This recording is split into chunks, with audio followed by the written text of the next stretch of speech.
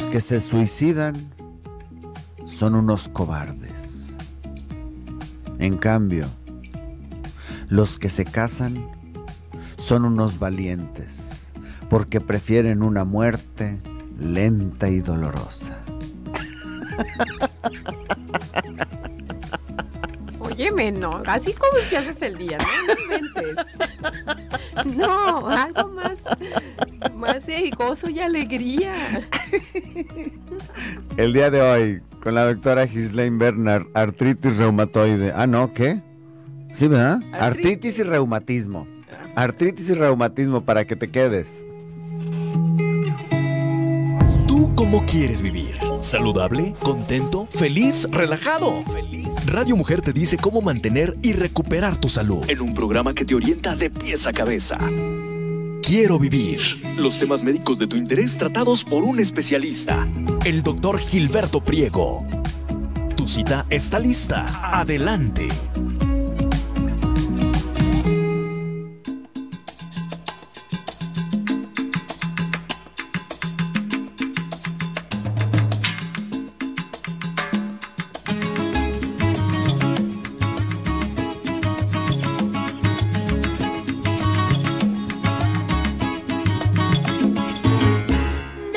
Bella, de mi tierra santa.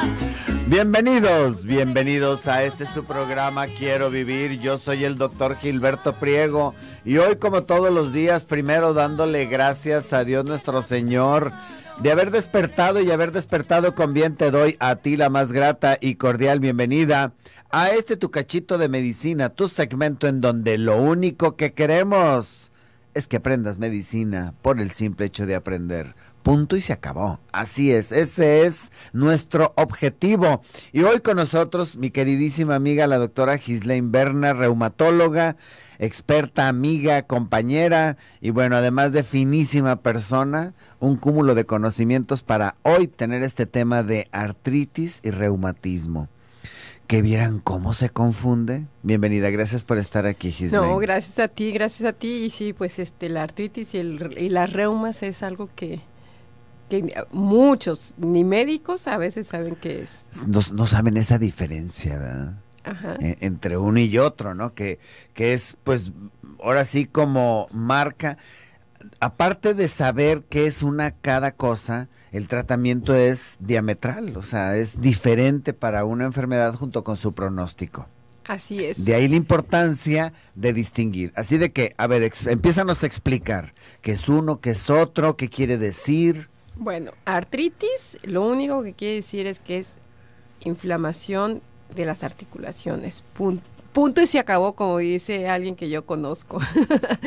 y entonces, eh, artritis puede ser, pues, de, de- o sea, puede, puede estar en muchísimas enfermedades. O sea, enfermedades reumáticas, como la artritis reumatoide, que es la más característica. Pero, por ejemplo, la gota también es artritis, lupus también te puede dar artritis, una infección, por ejemplo, lo- este, infecciones virales te pueden dar artritis. O sea, hay mm, la este, leucemia también se puede confundir con, o sea, puede producir artritis y uno pensar que sea artritis y en realidad es una leucemia.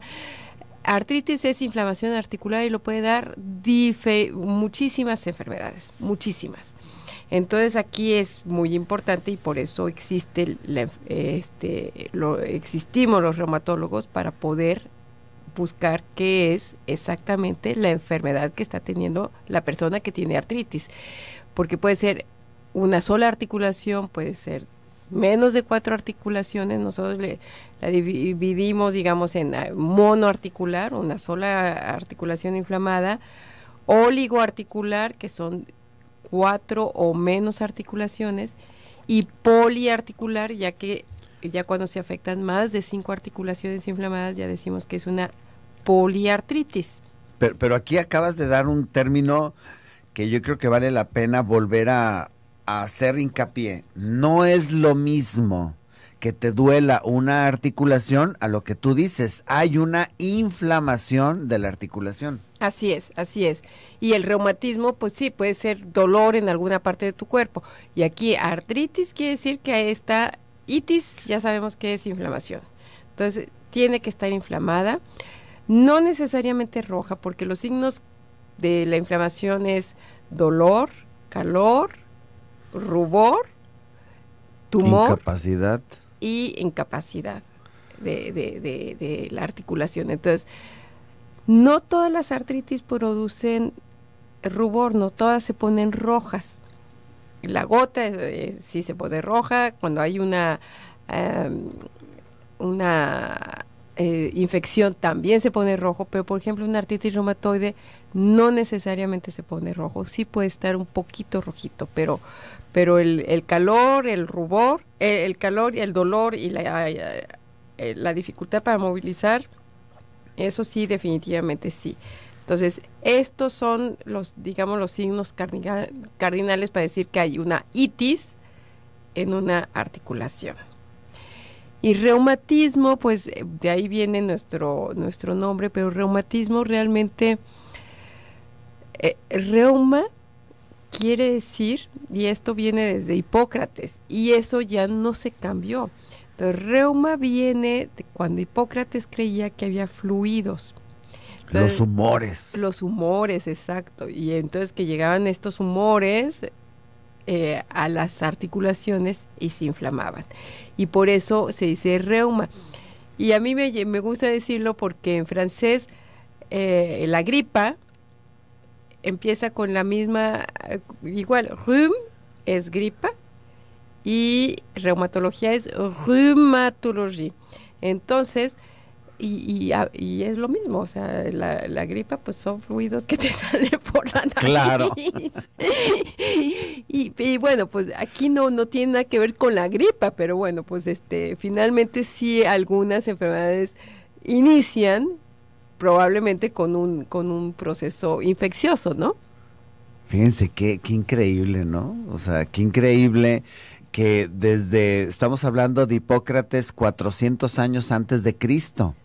Cuando empieza, con Hipócrates empieza la verdad. Por eso es el padre de la medicina, porque él dijo, eh, aquí no es de los dioses, aquí no es de, de si Marte está conjugado, nada, aquí nada. Una enfermedad viene de adentro de nuestro cuerpo y se expresa hacia afuera. Y él propuso la teoría de los humores, pero sobre todo hizo signos y síntomas para poder encontrar qué era la enfermedad y poder dar un tratamiento. Tenemos que irnos a nuestro primer bisturizazo porque el implacable de Toño no perdona. Vámonos al bisturizazo a esta Karen en los teléfonos. Yes.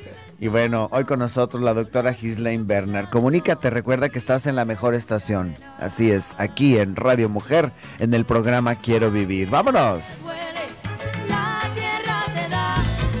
El doctor Gilberto Priego es cirujano gastroenterólogo. Si deseas concertar una cita, marca al 3616-6010.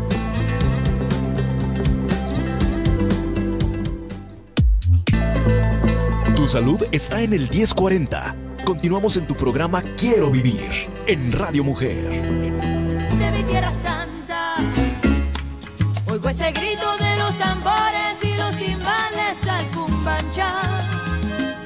ese pregón que canta un hermano que de su tierra vive lejano y que recuerdo le hace llorar una canción que vive entonando de su dolor, de su propio llanto y se le escucha penar.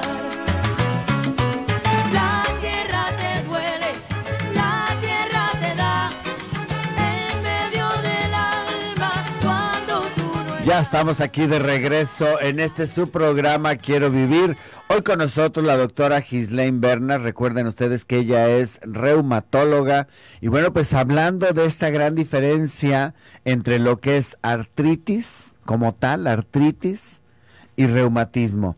Lo que, lo que empiezo a comprender es que la artritis como tal sería como el nombre de pila. Le tienes que poner apellido. Exacto. Exactamente, le tienes que poner un apellido, ya sea reumatoide, gotosa, infecciosa, o sea, hay muchísimas causas de la artritis. Entonces, ahí está la situación que tenemos que determinar cuál es el tipo de artritis que está teniendo la persona.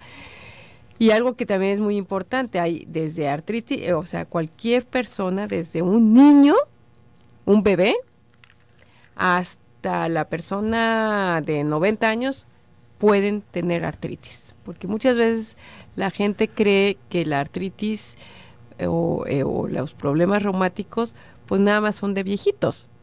Y no, aquí definitivamente algo que también tenemos que quitarle de, de, la cabeza a muchas personas es que la artritis puede empezar desde la infancia hasta la edad adulta, pasando por los jóvenes y este y es algo que este pues que se tiene que que diagnosticar lo más pronto posible para precisamente impedir la discapacidad que producen las, eh, las, inflamaciones.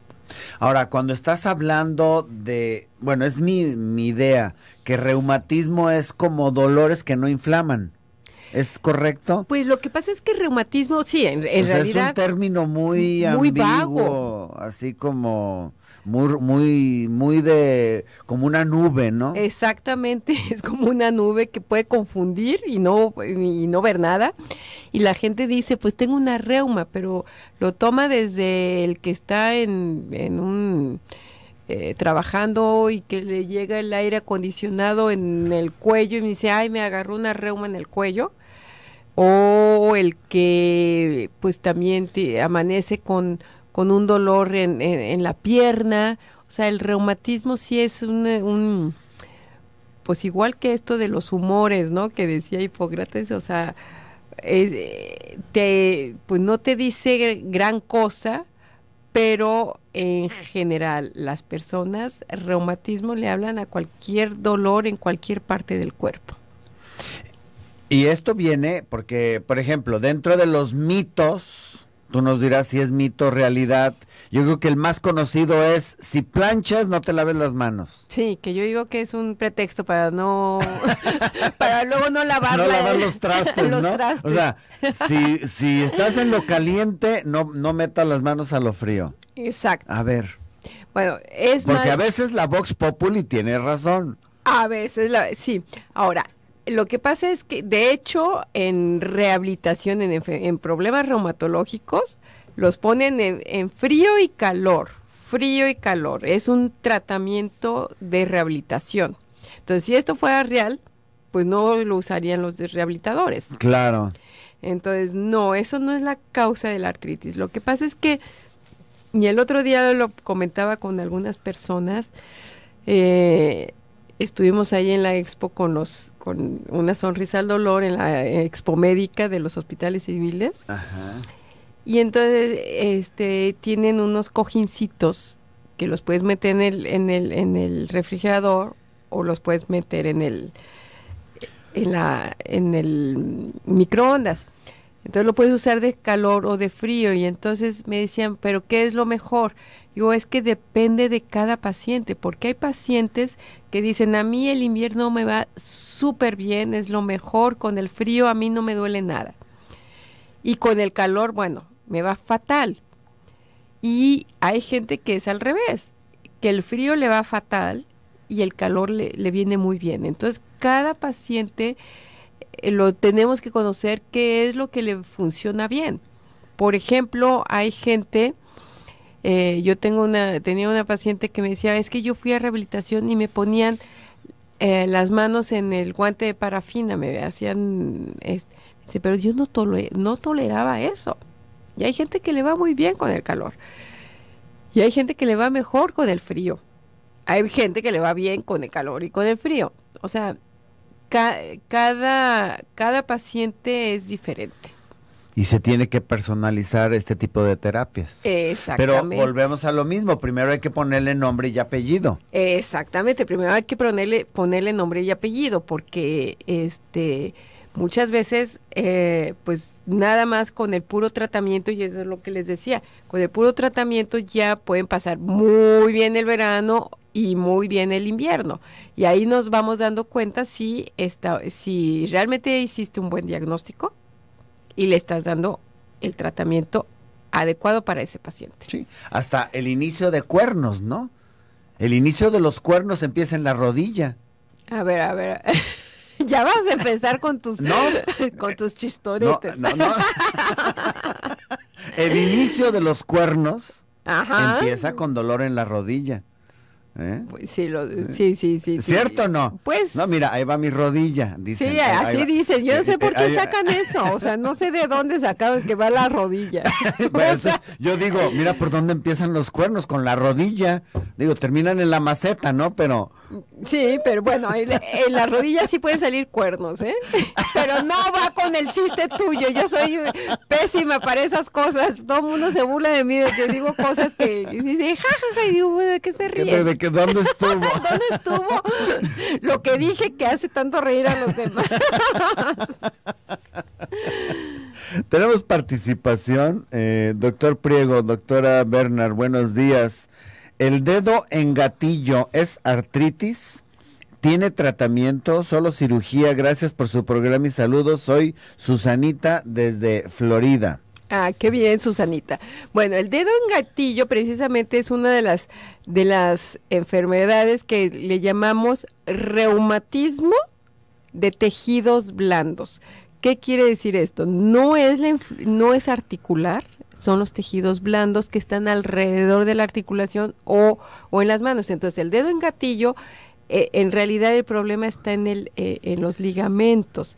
Y el ligame los ligamentos en las manos, si nosotros hacemos, ponemos la, doblamos nada más los nudillos, sin doblar los dedos de las manos. Ahí se nos hace una raya a nivel de la mano y en esa raya ahí está podemos sentir el ligamento y podemos luego doblar y, estirar y sentimos a veces un nodulito se hacen unas nodulaciones y entonces eso hace que se, se atoren algunas personas.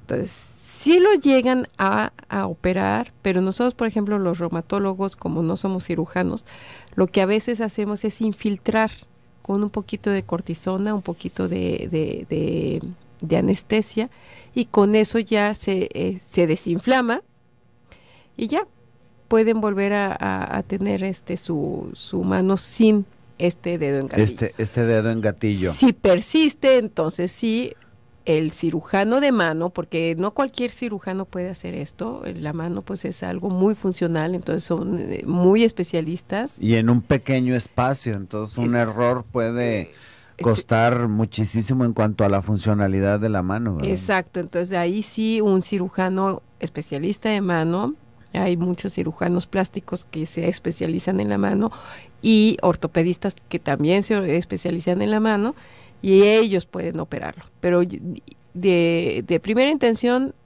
hacemos infiltración. Si no funciona, entonces sí, ciruja, eh, cirugía. Ok, ahora nos hacen una pregunta, Olivia, y tiene muchísima razón al preguntar esto.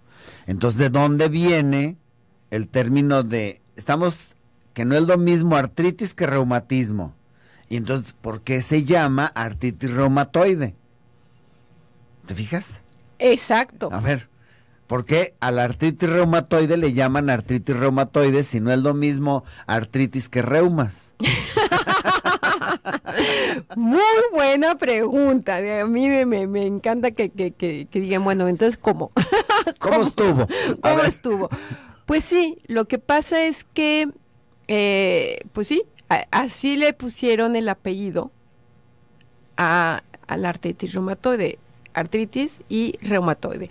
¿Por qué, ¿Por qué se lo pusieron eh, como reumatoide? Porque hay un anticuerpo que se, que se toma con una, una prueba de sangre que le llamaron factor reumatoide. Entonces, este, este factor reumatoide, eh, sí, todo esto es complicadísimo. Pues, ¿Cómo se llama la persona? Es Olivia. Olivia, qué barbaridad, ya, ya nos vamos a meter en complicaciones. Porque el factor reumatoide, que es un, es un anticuerpo que, que circula en la sangre en los pacientes con artritis reumatoide, pero ¿qué creen? No es exclusivo de la artritis reumatoide. O sea, hay gente que tiene factor reumatoide positivo y no tienen artritis reumatoide. Entonces esto ya se complica más, pero el 80% de las, de las personas que tienen artritis reumatoide tienen factor reumatoide positivo. Y, que tomar en cuenta que antes, que apenas empezaban las pruebas, a lo mejor esta prueba era como patognomónica. Exactamente. Y ahora que ya hay más subpruebas más específicas, entonces ahí es donde te empiezas a dar cuenta de que hay variables importantes.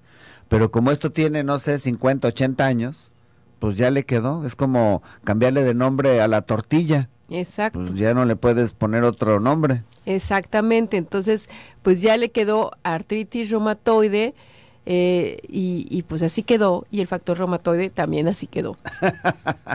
Vámonos al bisturizazo. Nuestro WhatsApp está abierto, 3310 en la torre. ¿Dónde está el teléfono? Este, bueno, pues ahorita se los digo. De su dolor, de su propio llanto, y se le escucha penar.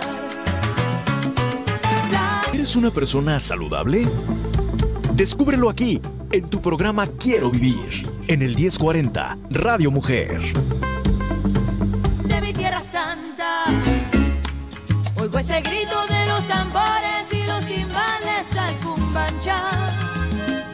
Ese pregón que canta un hermano que de su tierra vive lejano y que recuerdo le hace llorar. Una canción que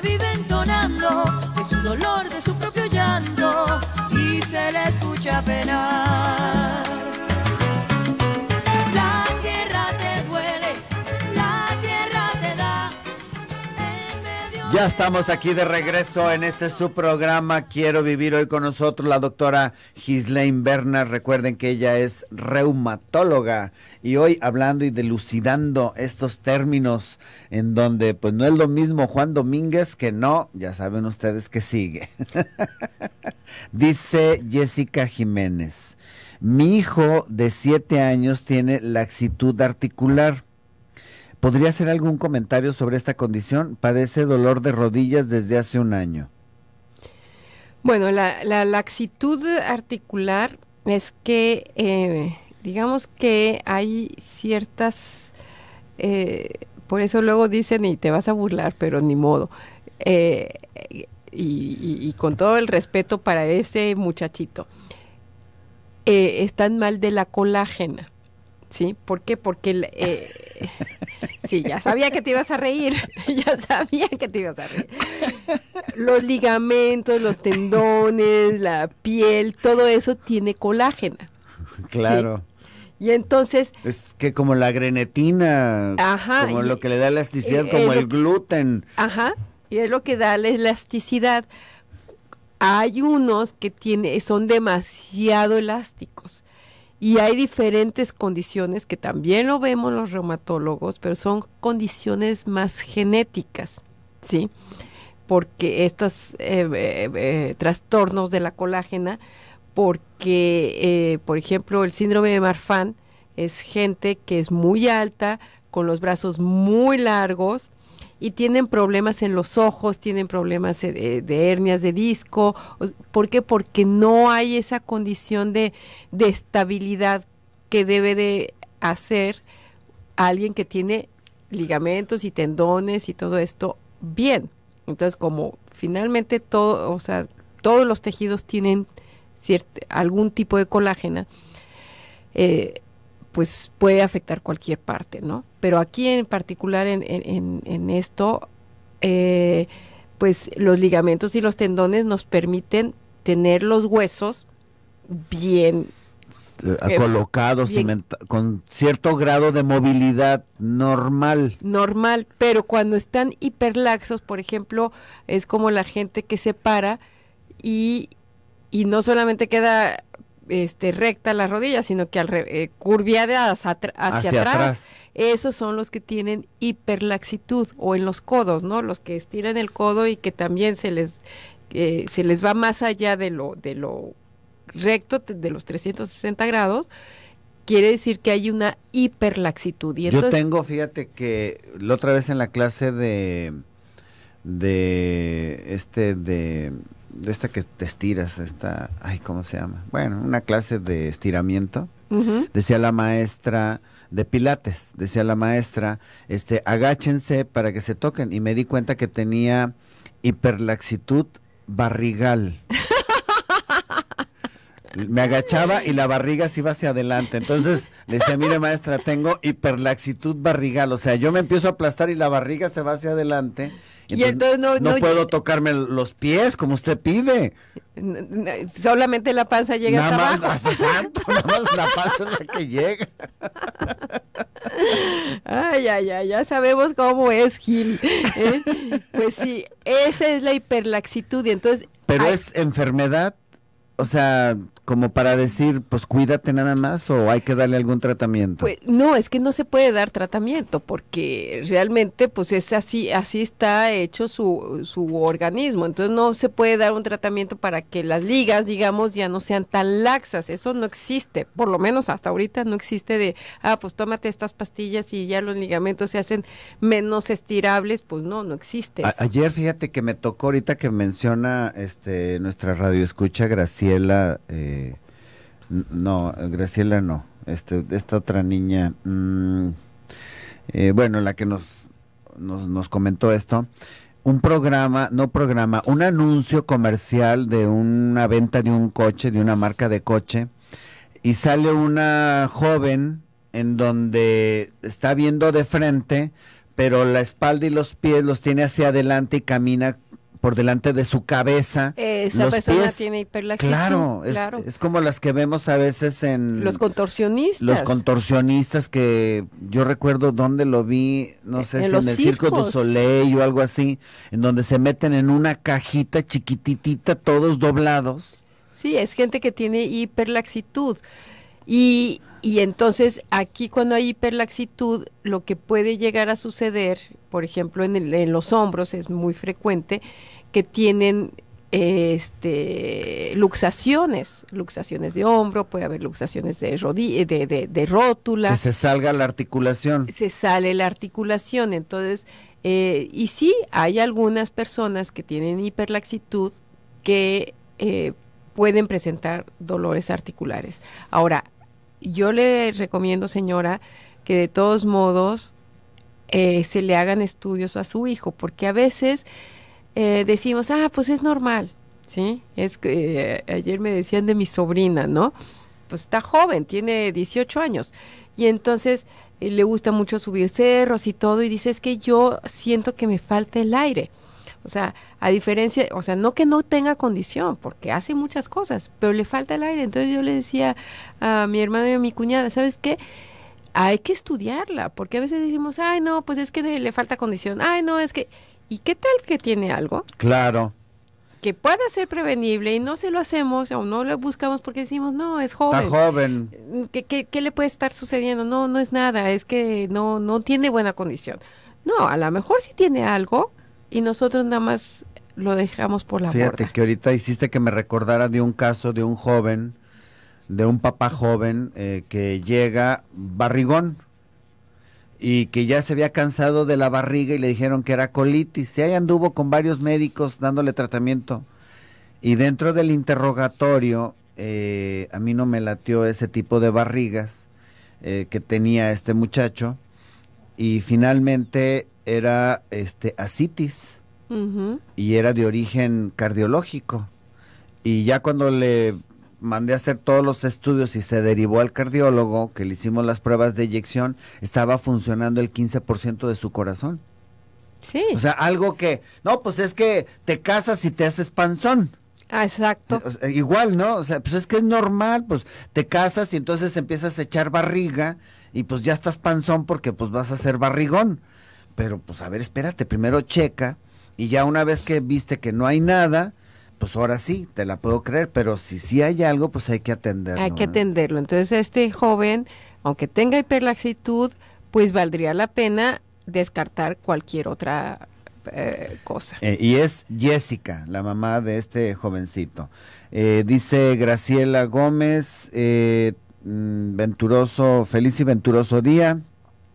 Me orientaran sobre los juanetes, a qué enfermedad pertenece y cómo se evita su avance. Gracias por su ayuda. Bueno, pues se, se habla mucho de que los juanetes son eh, porque las mujeres usamos zapatos muy apretados, que sí puede haber ese, ese tipo de situaciones. Los juanetes es, es que eh, los dedos de los pies se van hacia, hacia afuera y, se, y el dedo gordo se le hace una bola, este, que muchas veces pareciera un, un callo, ¿no? Eh, pero sí, te- es, los juanetes puede ser por zapatos apretados por mucho tiempo, estos, este, los zapatos Altos. altos y, y apretados. Y sí, eh, algo que es muy importante es que usemos zapatos que nos queden cómodos. Si no nos quedan cómodos, hay que regalarlos porque sí te terminan destruyendo los pies. Oye, ese truco de que dicen que en la tarde es cuando tienes que ir a escoger tus zapatos. Pues yo creo que sí. que, que traes un poquito más hinchaditos los Más pies para los que pies, sí. no te aprieten Sí, después. porque si vas recién levantado, pues sí, te quedan muy bien y al rato ya no los aguantas en la tarde. Entonces Sí. sí, lo ideal es ir en la tarde, que ya están más hinchaditos los pies. También, también hay que comprar los pantalones así, después de ir a tragonear. Porque si no botas el botón cuando vas a comer. luego, te falta el aire. Así es, hay que, hay que ir a comprar los zapatos. Entonces, pero también hay enfermedades reumáticas, artritis, que producen esto, estos juanetes que nosotros eh, eh, en medicina le llamamos alux valgus, que es, y aquí los ortopedistas sí eh, hacen un- ahora muy buenas cirugías. Microcirugía Sí, incluso. antes eran unas cirugías súper cruentas, eh, espantosas. Horribles. Ahora, Ahora. ya con microcirugía cortan tendones y rebajan el hueso y lo reacomodan, Y pero los dejan súper bien y salen caminando. sí, Hasta con anestesia local. Sí. Impresionante. Sí, ahora hacen una- un trabajo muy bueno los Eh, ortopedistas. antes de irnos al bisturizazo, eh, te pregunta, no te pregunta, nada más no nos manda su nombre, a ver, déjame ver, pero viene de fuera, Linda, Linda Trejo, este te manda decir que por favor hagamos un programa sobre fibromialgia.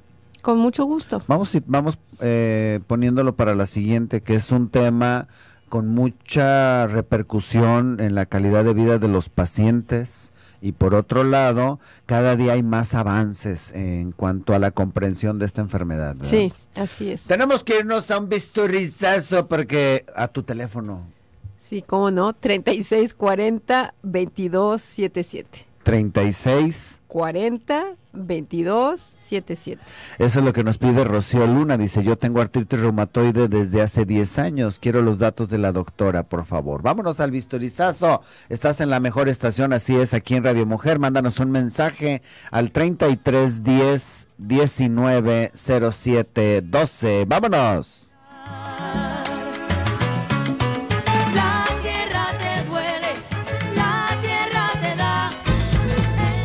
Para consultar al doctor Gilberto Priego, cirujano gastroenterólogo, comunícate al 3616 6010. Una buena salud es un deber para ti mismo. Sigamos escuchando Quiero Vivir. En el 1040, Radio Mujer. de mi tierra santa. Oigo ese grito de los tambores y los timbales al cumbanchá. Y ese pregón que canta un hermano que de su tierra vive lejano y que recuerdo le hace llorar. Una canción que vive entonando de su dolor, de su propio llanto y se le escucha penar. Ya estamos aquí de regreso en este subprograma Quiero Vivir. Hay mucha participación. Eh, Graciela Muñoz te pregunta, primero, ¿se pueden prevenir los calambres? Es que los calambres es también tan inespecífico. Ay, sí. ¿Qué es calambre, no? Ay, sí, yo, Graciela, si se pudiera prevenir todos los calambres, yo lo haría. Porque en la noche de repente. ¡ah! Que es el calcio, el ácido láctico, que el Son mil potasio. cosas, eh, son mil cosas, no necesariamente el potasio, puede ser el calcio, puede ser, o puede ser un- una hernia de disco, puede ser mil cosas. Sí, entonces habrá que ver qué está pasando ahí. Hasta el estrés es capaz de producirte un engarrotamiento, como dicen, se me engarrotó la pierna, No, te da la calambrina. la calambrina, sí. Ya me agarró la calambrina, ¿no? Lo que sí, pues hay que ver qué es lo que lo está provocando. Marta de Gutiérrez dice, tengo infección reumática y desde muy joven tengo que usar antibióticos. ¿Tendré cura? ¿Qué es esto? Ah, ya, ya, ya, ya. Yo creo que tenemos que ver qué es lo que le está pasando, porque eh, de hecho en México la primer, el primer reumatólogo, el doctor Robles Gil, que era de aquí de Jalisco, Ah, mira. Sí, esta es una historia muy que me gusta con, este, platicarla. Él era de aquí de Jalisco y el doctor Ignacio Chávez, que es que El fue un- cardiólogo. el cardiólogo famosísimo, lo mandó a Estados Unidos a especializarse en reumatología. ¿Por qué? Porque en aquel entonces eran alrededor de, eh, antes de, de- de los antibióticos, de hecho, más o menos en 1944, si no me equivoco, se fue a, especializarse eh, de reumatología. O sea, la reumatología en México es muy joven todavía. Entonces, eh, fue el primer reumatólogo. ¿Por qué? Porque había mucha fiebre reumática en aquel entonces en, el Instituto de Cardiología que fundó el, el doctor Ignacio Chávez. Pues sí, había eh, que ese por un estreptococo, este, había mucha fiebre reumática, pero todavía no existían los antibióticos. Los antibióticos nacieron a mediados de- del siglo pasado. Entonces, sí eh, era muy frecuente la fiebre reu- reumática y hay mucha gente que ha sido diagnosticada como fiebre reumática y en realidad no lo tiene. Y les están dando antibiótico y no necesariamente Claro. es fiebre reumática o, sea, sí yo yo entiendo que hay muchas de las enfermedades reumatológicas que pueden ser disparadas por un por un este por una bacteria o por un virus que bueno si fuera virus no tendría que recibir antibiótico pero habría que determinar si realmente tiene alguna de estas enfermedades no lo sé pero este porque a veces el disparador es una enfermedad infecciosa es como la chikungunya, ¿no? Eh, ahora hay pacientes que les dio chikungunya, sobre todo en mujeres, y les queda un tipo de enfermedad reumática. Pero ya, ya no es ya no es el efecto De dar antibiótico para el chikungunya ese. Sí, ya no hay que dar nada, sino que realmente ya hay que controlar que no le, le esté dando estas molestias articulares.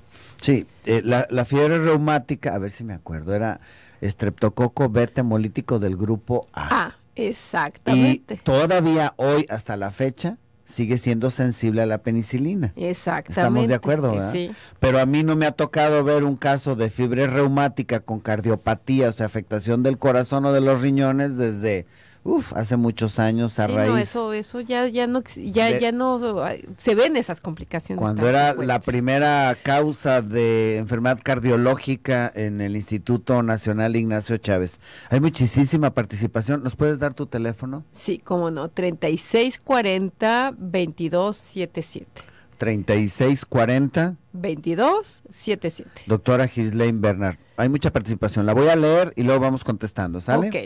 Eh, buenos días, doctores. Tengo 45 años. Dos preguntas. Ya tengo tiempo que mi rodilla derecha se escucha como si estuviera des- se estuviera desbaratando y mis manos me duelen todos los días y más cuando barro y cuando pico verdura y se me entumen que hasta el dolor me despierta por las noches. ¿Qué podrá hacer? Gracias. Saludos desde California. Bueno, eso eh, sí ti- tiene que revisarse, porque si la despierta el dolor en la noche, puede ser un proceso inflamatorio y tiene que hacerse estudios y revisarlo un, un reumatólogo. Eh, hola, doctor Priego, doctora Bernard, ¿me pueden dar su opinión? Salió la inmunoglobulina M, eh, me preocupa que salió el resultado de inmunoglobulina M, posiblemente fue debido a una infección que tuve, lo que me dijo el cardiólogo, que no me preocupe, debo de tomar alguna medida, estoy bien, Mati. Y nos manda que salió la inmunoglobulina M en 422 cuando su límite máximo son 230. Lo que pasa es, es, que la inmunoglobulina M es la primera inmunoglobulina que cuando tiene uno un proceso infeccioso es la primera que sale. Entonces, muy probablemente sí algún proceso infeccioso estaba pasando. Eh, hola, buen día. Gracias por la consulta con la doctora eh, con el 50%. Muchas gracias. La doctora 8A. 8. Ah, el doctor. Dios, que este lenguaje que me ponen ahora. Me pone un 8 y una A. Con el doctor 8A, claro, el Claro. doctor 8A, Miguel. Quiero preguntarle a la doctora qué opina sobre el tratamiento de Atlas Profilaxis. Por favor, gracias, buen día.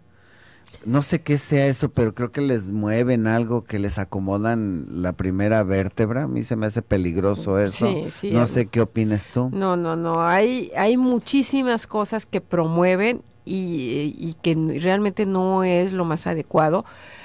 Y también quiero decirles que hay medicamentos que dicen que son totalmente eh, eh, naturales, pero vienen en pastillas y se mejoran muchísimo. Eso, muchísimo aguas con eso porque seguro tienen cortisona y ni siquiera lo están diciendo. Entonces, si dicen que tiene puras cosas naturales, pero viene en pastilla y con la primera se sienten súper bien, seguro Aguas. tiene cortisona y tengan mucho cuidado con eso. Buen día, doctora. ¿Qué de cierto es que si estás caliente las manos de plancharte pifas alcohol y te puede, no te puedes y ya te puedes mojar y no te da reuma? A que te pongas alcohol y ya no te dé reuma. Mari Carmen. Y luego si es con marihuana, mejor, ¿verdad? Mucho mejor. No, oye, pues hay muchas cosas que dicen, pero que realmente no, no, No. es real. Eh, Jessica Jiménez de su niño con eh, la laxitud articular nos manda a dar las gracias. Buenísimo y bendecido San Lunes. Saludos doctor Gilberto, doctora Gislaine. Voy a ser intervenida quirúrgicamente el 19 de marzo porque me encontraron desgaste de tendones y me van a hacer tres hoyos en el hombro para rebanar hueso. Estoy un poco con miedito. Soy Grace de Austin. Saludos, bendiciones. Pues yo creo que le van a hacer una artroscopía y le van a... Es lo mismo que pasa con los dedos, ¿no? Que antes era muy cruento y ahora con estas microcirugías los dejan súper bien. Entonces, Y lo que hacen es el canal por donde va el tendón, me quiero imaginar, lo van a hacer un poquito más amplio para que no se te esté saliendo y pueda deslizarse mejor. Y es que en el hombro a veces eh, se forman como, como sobrehuesos y entonces los liman para que ya, ya no haya, es como el otro, eh, la otra persona que decía que le crepita la rodilla, Claro. seguramente ya está rozando hueso contra hueso y eso está produciendo esos crépitos y luego se forman sobrehuesos. Buen día, ¿qué tipo de alimento pueden consumir las personas que ya tienen diagnóstico de artritis reumatoide? Buen día. Bueno, aquí lo que nosotros aconsejamos es que eh, coman grasas buenas, omega, omega 3, que están en el, en aceite de oliva, las, este, el aguacate, son omegas 3, y evitar los, los omega 6, que son de, eh, las grasas animales, que de, de, sobre todo de, de la carne, ¿no? ¿Tu teléfono, Gislaine? El 3640-2277. 3640-2277. Hay muchísima participación. Vámonos. Doctora, los traumatólogos dicen que no sirve el Gelicar, pero a mí sí me sirve. Desde que lo dejé en invierno siento los huesos que hasta me truenan las rodillas y los hombros. ¿Qué opina? Bueno, no es curativo, lo que pasa es que no, no produce cartílago, eso sí que no, pero hay gente que sí le, les funciona bien y si le está funcionando, Como aceitito. Exactamente. Hace cuatro años tenía problemas en mis manos, me amanecían inflamadas y no podía cerrarlas y no tenía fuerza. Me daban diclofenaco, naproxen, tramadol y solo una vez esteroides para desinflamar. Poco a poco se desapareció, pero el dedo medio de la mano derecha me duele, lo siento rugoso, rígido y cuando aprieto mucho la mano se me queda trabado y tengo que tomarlo con la mano para desbaratarlo. ¿Hay algún tratamiento para eso? Saludos desde Oklahoma. Dios los bendiga. Muchas gracias. Pues es el mismo dedo en gatillo que hablábamos hace rato, que se le atora y, entonces yo sugiero que se lo infiltren una vez. Si no funciona, entonces sí hacer cirugía. Eh, buen día, ¿me puede recomendar un cirujano ortopédico? Claro, está eh, el doctor Marco Polo Malacón Sánchez, el doctor Gerardo Franco, está el doctor... Eh, mm, mm, mm, eh, ay, se me fue el otro nombre del cardiólogo. Pero, traumatólogo. Traumatólogo. del, del, traumatólogo, perdón. Hola, soy Blanca Gutiérrez. Mi hijo, 10 años, le truenan los huesos de brazos y manos. ¿Qué puede ser? Gracias. Bueno, pues si estaba chiquito, sí, también hay que revisarlo. Puede ser una laxitud, hiperlaxitud también, como el otro chico, eh, y habría que revisarlo. Muy bien. ¿Tu teléfono de nuevo? Sí, como no, 3640-2277. 3640-2277. Muchas gracias, Gislaine. Gracias a ti. El tiempo se nos fue rapidísimo, no me queda más que decir gracias. Ahí estuvo el buen Toño, el implacable Toño, en los controles. Karen en la producción, en el teléfono, en las citas, en programación, etcétera, etcétera. Y un servidor Gilberto aquí en la conducción. Recuerda, si tu médico te prohíbe el café o el chile, no le hagas tanto caso que no hay evidencia científica que hace daño. Hay limitaciones que es diferente. Pero si tu médico no cree en Dios, te pregunto qué estás haciendo ahí. Cambia de médico. Dios te bendiga. Nos escuchamos mañana.